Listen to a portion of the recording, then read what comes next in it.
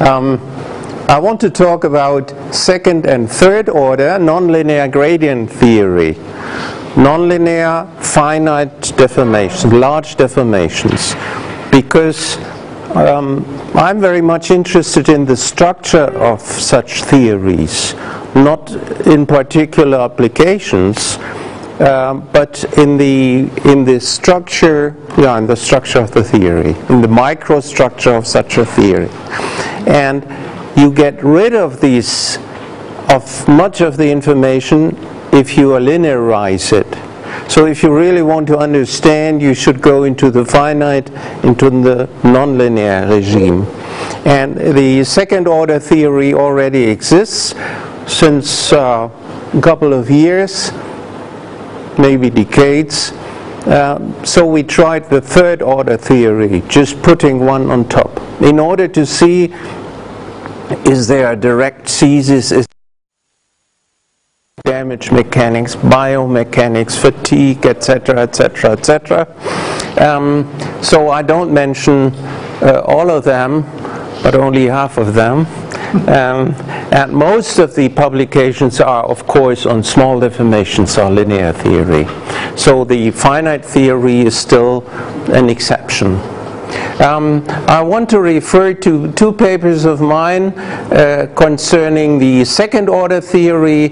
One is uh, the elasticity and plasticity, and one is a thermodynamical framework. Uh, this is a paper by Christian Reiher on third order grain elasticity. We are currently preparing that for the Journal of Elasticity has already been accepted. And you find all the all results in the compendium on gradient materials and Google already knows this title so if you put it into the Google search machine you will find it immediately but be careful to have the last edition there which is from October last year. Uh, so in the finite regime you immediately have a lots of questions. Uh, of course, one of the first is what about balance laws? What about boundary conditions? If you go into material theory, you want to know what reduced forms are, how the transformation behavior of the variables is, what are appropriate variables for modeling constitutive behavior in this regime. Um, then, of course, thermodynamics, what does the second law impose on restrictions onto these models, and many more questions. Symmetry considerations. What is a symmetry transformation for such materials? What does it mean that such a material is, for example, isotropic or anisotropic? All these questions immediately arise. Um, one thing very important is the notation. You need a shorthand writing for that, otherwise you will um, ground it in, in, in indices. Um, and I will use a simple dot as a simple contraction, a double for the double, etc. And um, I will make use of the so-called Rayleigh product. The Rayleigh product is between a second order tensor and a kth order tensor. And the second order tensor applies to all the base vectors, leaving the coefficients untouched. Somebody called that Rayleigh product. I don't know whether it's really introduced by Rayleigh, but many people nowadays use it. The problem is, in the theory, in the gradient theory, we have to deal with third and fourth order tensors which have the characteristic that the first entry is different from the other ones. The last three or two ones are gradients, are gradient vectors. The first one is a tangent vector. So if you want to make a pullback of such a tensor, you have to treat the first entry different from the other ones. This is why we introduced a second kind of product indicated by such a a ring or what is it? A bagel. A bagel, what you can eat. So we call it bagel product. um, which acts in the first entry differently from the rest one. The rest is simply the second order tensor, but in the first one is t to the minus transpose. Has to do with the different character of these. And this product turned out to be very useful in the context of, of higher gradient materials. So keep that in mind that the little bagel means this product. And we mainly use it for pulling back something from a spatial description into a material description in the reference placement. Okay, um, I want to give a few comments on the balance laws and on the boundary conditions for two and third gradient materials uh, since this is a very interesting topic and the uh, in particular the boundary conditions are by no means trivial for higher order theories as we, you will see soon. And in the second part which is the longer part um, but I hope to, to end up before supper uh, the second part uh, then is on constitutive modeling, in particular elasticity, and if there's some time less left before midnight, um, also on, on plasticity. Okay, so let's start with the balance laws. Um, a good starting point is always the principle of virtual power. Um, we introduce the internal power of the body as a global concept, um, which is a scalar, of course, and this scalar depends on the motion in the past of the whole body. And I describe this motion by chi, that means the motion throughout the centuries for the whole body as a global thing, as a function function of time and of the material point. And secondly, um, of the virtual velocity field, which is nothing like it but a test function. And we assume that in the second argument it is continuous with respect to a certain metric, of course, and it is linear, point-wise linear. These are the two assumptions. And then you can extract once you have such a functional you can extract all the balance laws by an invariance requirement. That means that this scalar is invariant under change of observer. All, all observers at the end of the year find at your gas meter at home the same value so that the account is also the same. Should be invariant under change of observer. So um, we have then the lo localized form, which is due to Riesz representation theorem on Sobolev spaces, something like that. Depends on the norm. If you take the one norm, you have just this part. This is for the second, third, and fourth one. And um, the first one is simply a vector times the virtual velocity field. Both of them are fields, so we have the integration over the body. The second part is a second order tensor times the gradient of the velocity, etc. And it depends on the metric how far you have to go. So in our case, we go up to the third or the fourth term throughout this lecture, I will color the second order terms in red and the fourth order terms in blue. Now, um, if you have such gradients in the integral, um, it, it provokes for, for partial integration. Uh, so by partial integration you can always bring one nabla from here to that side and transform something on the surface. So this is the partial integration volume to surface. Some people call that, well, the people in Germany would call that Gauss theorem. The people in Russia and Ukraine would call Ostrogradsky theorem. In France, Poincaré. in England, Green Stokes, in Italy, Piola, I guess, in the United States, uh, Marilyn Monroe or something like that. Okay. So everybody has this author. Then, if you still have uh, a gradient operator or a Ratzinger said that relativism is dangerous. That's right, yeah. To make rela relativism in this context is dangerous. We just we just call this formula partial integration, okay? Internationally. Okay. Integration by parts. Integration by parts, yeah. So first you have from the divergence of a vector field on the volume into something on the surface of this volume.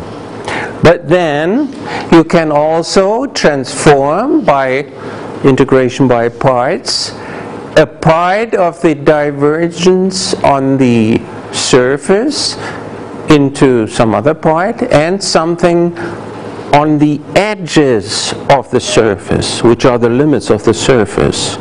And we call that with an L, which stands for line. So it's a line integral.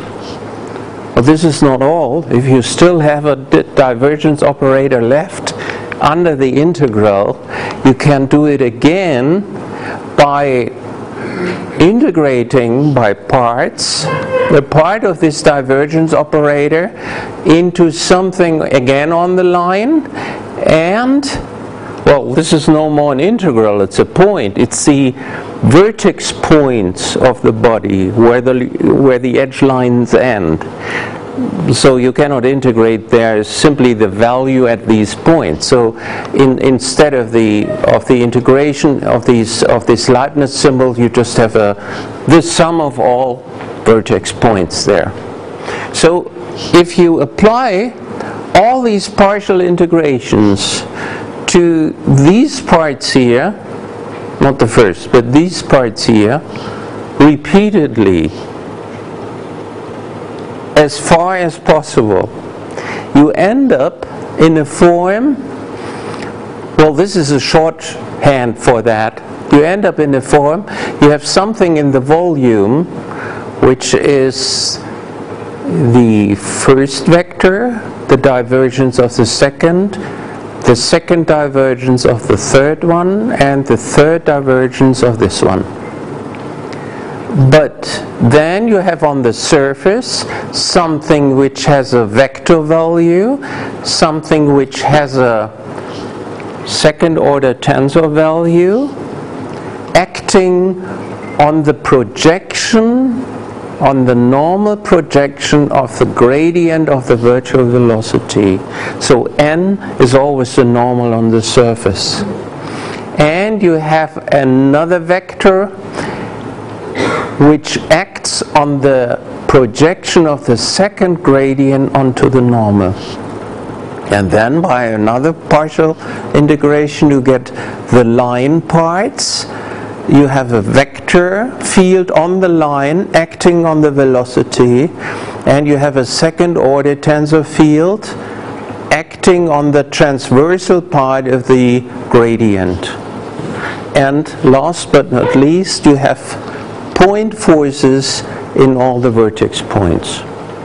But I have to explain what the T3 is, what this is, what this is, what this is.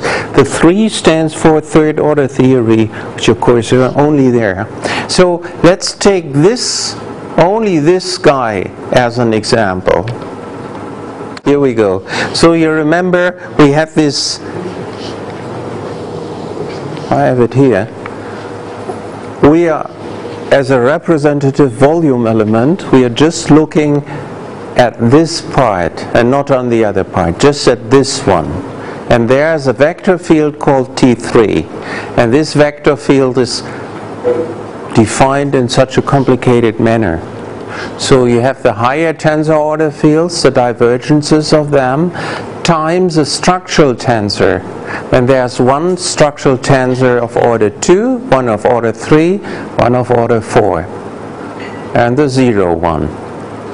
And the second order, this guy here, is defined as a transversal divergence or tangential divergence of the normal.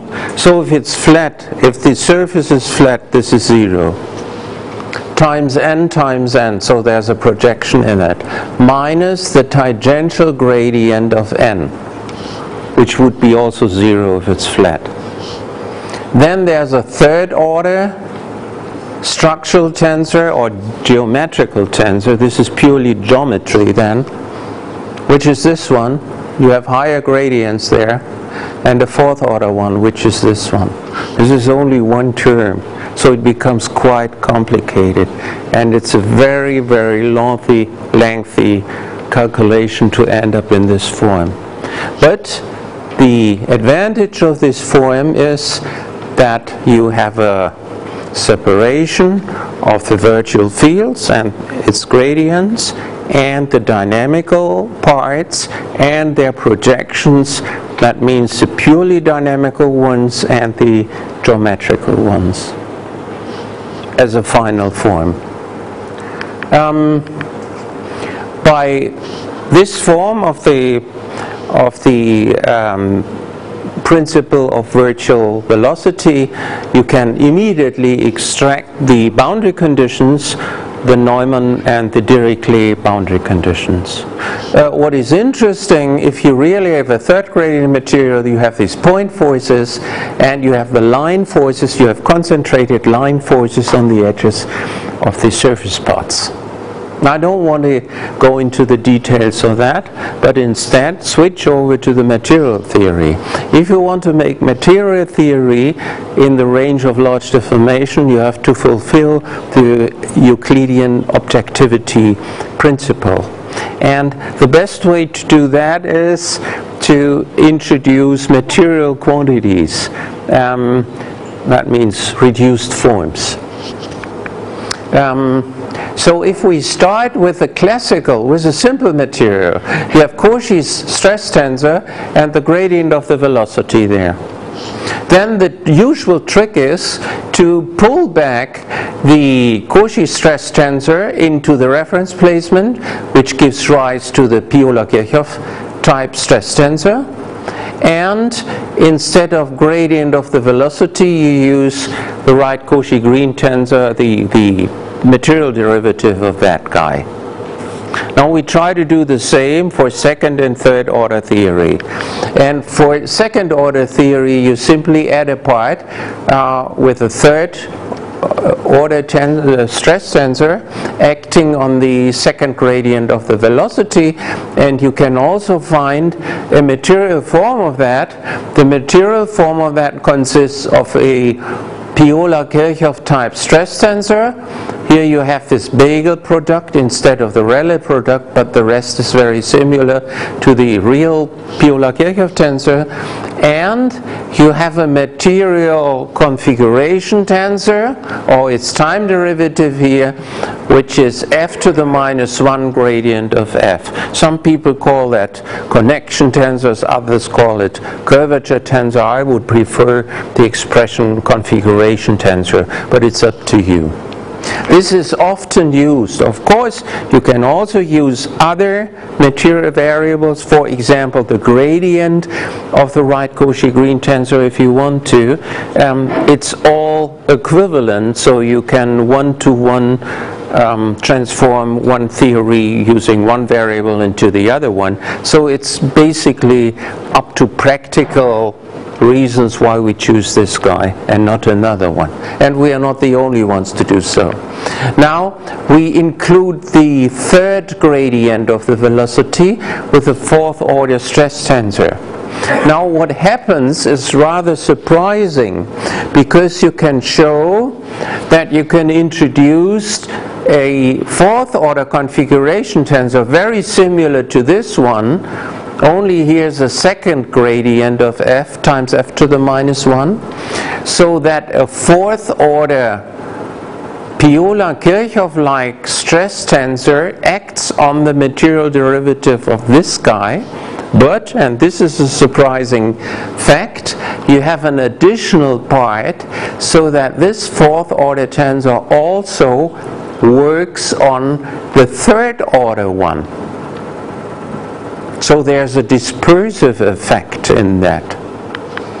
And of course, you can reorganize the whole thing such that you have one tensor acting on K3 dot and another stress tensor acting on K4 dot. But this third order tensor is a mixture of the original one and the fourth order one. Now the question arises was it a bad luck because of um, the a choice of the variables which is pr probably not so good. Is there another material variable which avoids this dispersive effect? That would be very interesting because it's a bit confusing to always work with different stress tensors.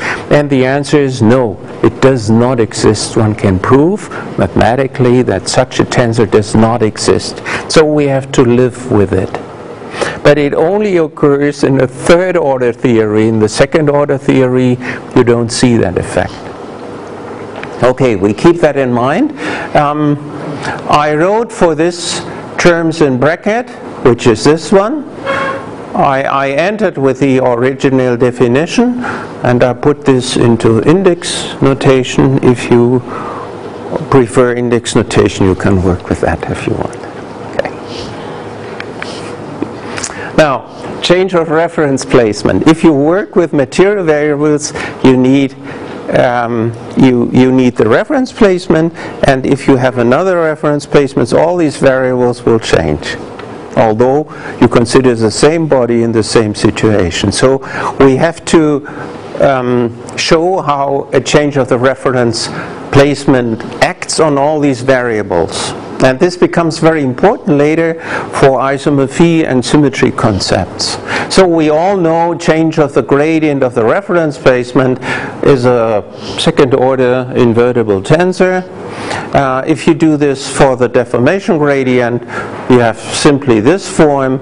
If you do it for the right Cauchy-Green tensor, you simply have this form. This is all well known. For higher order tensors, the things can become quite complicated.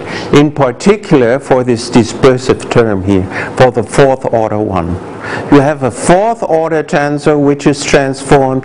You add one which is here, and you also have a combination of the third order ones. So this makes it quite quite uncomfortable. But on the other hand, there's no choice to avoid this problem. Oh, for the stress tensors, it's, it's more easy. It, it has simply this form. Let's go into elasticity. In elasticity, we assume that a, an energy exists and the energy depends on the motion of the body, on its gradient, secondary gradient, and third gradient if you want. And then you impose the invariance requirement which people sometimes call material objectivity, but there are other names for that. And then you can find a reduced form, and one choice of a reduced form is right Cauchy-Green tensor, and these two K's in the second and third argument. This is a reduced form, which automatically fulfills this invariance requirement. And you get these stress tensors by derivation by these potential forms. Derivation of, of this energy with respect to C, with respect to K3, and with respect to K4. But again, you have this complicated dispersive effect in that. Elastic isomorphy, what does it mean? Um, if the elastic law depends on the choice of the reference placement, um, then if you want to express the fact that two points have the same material behavior, you cannot simply say that the um, form of the energy is the same. Um, only after an appropriate change of the reference placement it could be the same. Um, and uh, this is given by this definition. Two elastic materials point are called isomorphic if one can find reference placement with respect to which the elastic energy function becomes equal. This is a nice and transparent definition, but it's far from being practical. Uh, practically, one introduces simply these isomorphic tensors, a second order, third, and a fourth order tensor, and then uh, shows that such a relation holds for all variables in here. So you have to transform the C here. You have to transform the third order configuration, which is this here, and the fourth order one, which is quite complicated. and you have a constant which is rather meaningless. Okay. Elastic symmetry is auto-isomorphy. Something is isomorphic to itself in a non-trivial way. It's always isomorphic to itself in a trivial way, but it's interesting to find a non-trivial way. So, if you can find three tensors second, third, and fourth order, such that this relation holds for all values of these um, configuration variables, then we would call it a symmetry transformation. So in the classical theory, you have just a second order tensor, which is normally assumed to be unimodular. Here you have three such tensors, and also the symmetry relation becomes rather complicated. Uh, I wrote it down then for the stress laws, but this is not important right now. Now, of course, all these symmetry transformation transform are, uh, in an algebraic sense, a group. So they fulfill the group operations. One of the group operation is the, comp the composition. If you have two of these symmetry transformations, then the composition looks like that. Rather complicated. But that's how it is. In the, for simple materials, you have just the combination of the two second order tensors. But for higher order materials, you have these combinations here. The identity is the second order identity in the first entrance and the zero in the second and third order entry. Interesting. And the inverse of some of these members of the symmetry group is simply the inverse of the first one, but simply more complicated in the second one and even more complicated in the third one. But that's how it is. It forms a group. Little is known about the role of these second and third order tensors in the symmetry group. The first one is relatively simple, or the interpretation of the first one is relatively simple, coming from simple materials. But for the others, it becomes rather complicated. And we still know very little about them. You're looking at the. Okay. Um, to do something very practical, we linearize this theory, but as a finite the theory, like a Saint-Venant-Kirchhoff theory, large deformation but linear. Um, so we assume that green strain tensor is its norm is small compared to 1 and the norm of these two tensors is also small compared to 1 but you need a factor here of the dimension of length. Um, because these guys are not dimensionless. Well, this is our goal to put something into the theory which has a dimension of length to describe internal length scales. So these are under these assumptions we can linearize the stress laws uh, which means that we have a square form for the energy. The square form looks like that.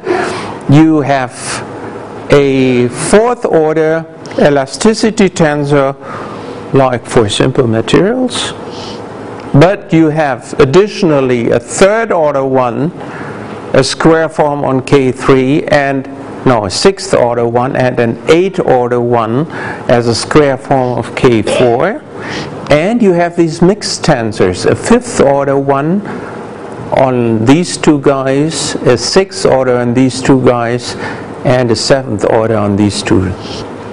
So you have lots lots of elasticity tensors, but this is a general theory, so uh, they are a general linear theory. And for simple materials, you have the well-known 21 constants. For second order theory, you have already 300 ones. And for fourth order theory, you have 1,480 and something independent constants. So this is a lot for modeling. Very interesting for people who do experiments for the identification. Need a lot of experiments. But of course you can reduce this number if you assume isotropy. Isotropy means any rotation in the first entry. And moreover, if you assume centrosymmetry. That means with any element in the first entry, also it's negative is a symmetry transformation.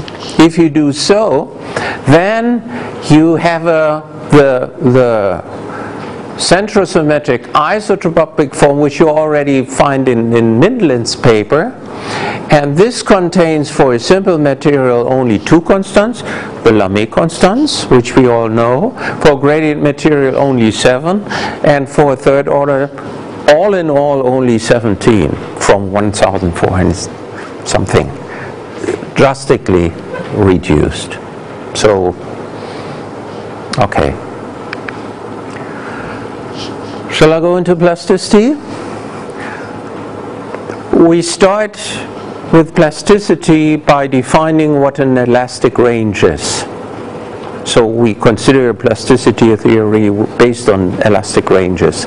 And an el elastic range is a subset of all the configuration here associated with an elastic law or an elastic energy such that for any process which starts in this elastic range and is all the time maintained in this elastic range, at the end you can determine the stresses by this energy.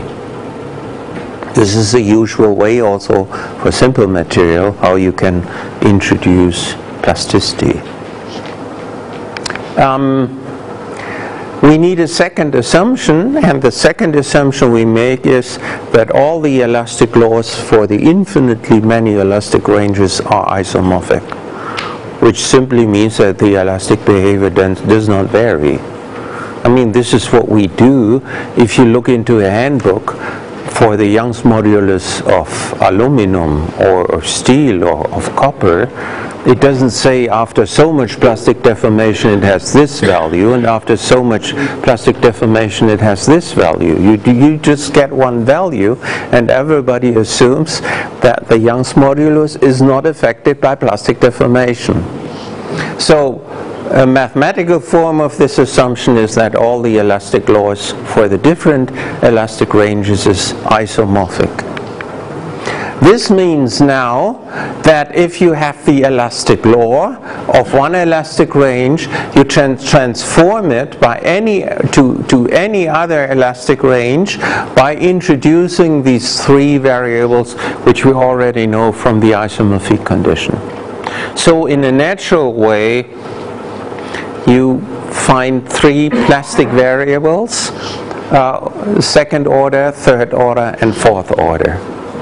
Of course, the isomorphic condition does not hold un under each and all circumstances. For some materials, the texture has an influence on the elastic variables, but in many cases, you can simply neglect it. Um, this is what almost everybody does. Who does who, who takes into account the, the, the change of the elastic variables under plastic deformations. Okay, this is the results, the consequences for the, for the stress loss. I don't want to go into that. Uh, a yield criterion. What is a yield criterion now? We uh, formulate the yield criterion in the configuration space and not in the stress space, but you can later transform it from the configuration space into the stress space by the elastic law if you want to. But to start, we keep the configuration as the independent variables and the stresses as the dependent variables. So the yield condition depends on all internal variables, which are these three plastic variables, on the configuration, and on additional variables, which are hardening variables, variables of any order, or a set of such variables. I just call them ZP. And if this is zero, then the material is on the yield limit, and if it tends to be to, to increment elastically, then you have the loading condition. This can be directly translated from the, the theory of simple plasticity into higher gradient plasticity. So there's nothing special in that. We need flow rules. Flow rules means if both the yield criterion and the loading condition are fulfilled, then the plastic variables must vary.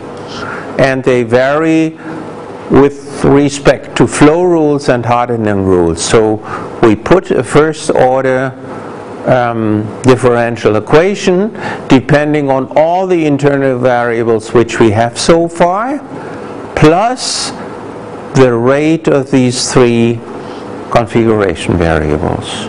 And we need that for three plastic variables and for the hardening variables as well. We will assume that these are rate independent, so we can make an ansatz for them, and the ansatz is with the with the plastic consistency parameter, which is assumed to be the same for the four equations, four evolution equations, such that here not the complete rates occur, but only normed rates. These are normed. These are these three rates are not the exact rates, but normed by a factor, by a common factor, which is this. And if you do so, you assure rate independence. To give just small examples, uh, um, Ivan Giorgio is somewhere in the room. he, he worked worked these out together with Christian Reiher. Uh, and I don't go into the details, but the illustrative example is you have a block which is glued here, which is fixed here on the bottom surface, and you prescribe the displacement of one of these edges which is possible in such a theory. And then they showed that if the theory is of sufficient high um, degree, order, uh, then you have no spurious, spurious mesh dependence in that. Okay, and the other example is you have a tetrahedron, a pyramid, and you prescribe the displacement of this top point, just of this point. And then if you have a third order theory, you can show that this regularizes the singularity out. So you have no spurious mesh dependence even at the top there. Okay, this all can be continued. Uh, we have a thermodynamic play, um, frame for that as well. We found out what the uh, consequences of the second law in form of then extended Clausius-Duhem inequality is. You have these potentials um, known from simple materials and you have additional residual um, unbalanced conditions there. Nothing unexpected in that, but I don't want to go into that. So I end up again with the advertisement for the for the Havana meeting next week. Hope many of you can be met there. Okay, thank you.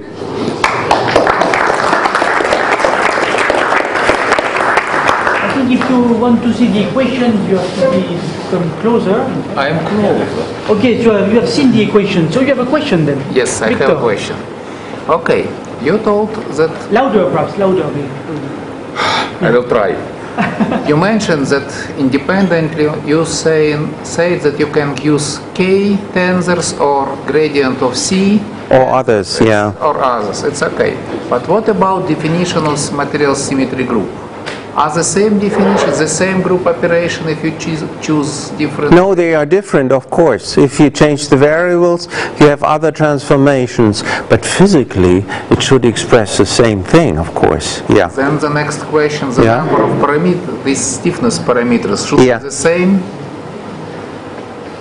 That is exactly the same, right, yeah. It doesn't, it does not depend on the choice of the variables, right, yeah. And last, But the behavior of such a linear law, that changes. This is up to the choice, yeah. Yes. Yeah, you're right. and about unimodular tensors. Yeah, Your material symmetry group, the first tensor also must be unimodular. And this, no, must not. It can be, no. Many people assume that it is unimodular, but but I don't see a physical reason for that. No. It's an additional assumption which is very practical, which many people do, but I don't think that there, this is necessary. okay. Interesting question, yes. But it doesn't need to be positive definite anymore, of course. Yes, It can be negative, yeah, yeah. You said you can prove that, uh, um, because you- uh, we know that the strain measure that you have used for the second gradient is, uh, for finite deformation is convenient one, because uh, Yeah. it does not lead what you call this dispersive effect. Yeah, And you said you can prove that there is no such uh, convenient strain measure for the Third. third order. How can you prove that? How do you prove you assume you have it, Yes. and then you write down the integrability conditions, and you show that there, there's no existence to fulfill them. And if you apply this technique to the second order, Yeah, starting, uh, you find the proper... you find it, yeah, Okay. yeah. Interesting. The question which I cannot answer, and that's why I'm fearing that, is um, could you make a bad choice for the second order one such that you have this dispersive effect already there? Honestly, I didn't prove that. I didn't show that any choice. Uh, If you take It's gradient okay. of C, will give you uh, dispersive effect. Would it? I think, huh? If you don't I think so too, yeah. Or you can try, huh? Yeah, we could try that. Other questions? Yes? You show uh, the um, numerical so- solutions for the cube and for the pyramid, yes? Yeah? Uh, why uh, should we use this third order uh, con- continuum um, and why do- can't we use the second order for these problems? Um, What's the, what's the difference the The answer is very simple. If you have a second order, if you have a simple material, then you cannot describe neither concentrated line forces nor point forces. If you have a second order theory, you can describe concentrated line forces but not point forces. Only for third order theory you have these point forces. On the other hand, one might, one might raise a question, uh, does it then make sense to have a fourth or fifth order theory? What, what, what is beyond point forces? Of course, there's nothing beyond point forces. There's no difference between second and third order continuum for the line forces, yes? No difference. For the line forces, you already have the normalization for second, yeah. That's right. Mhm. Well, of course, there's a difference in the solution, depends on the, on the extra terms. But uh, for the regularization, you don't need the third order one, yeah.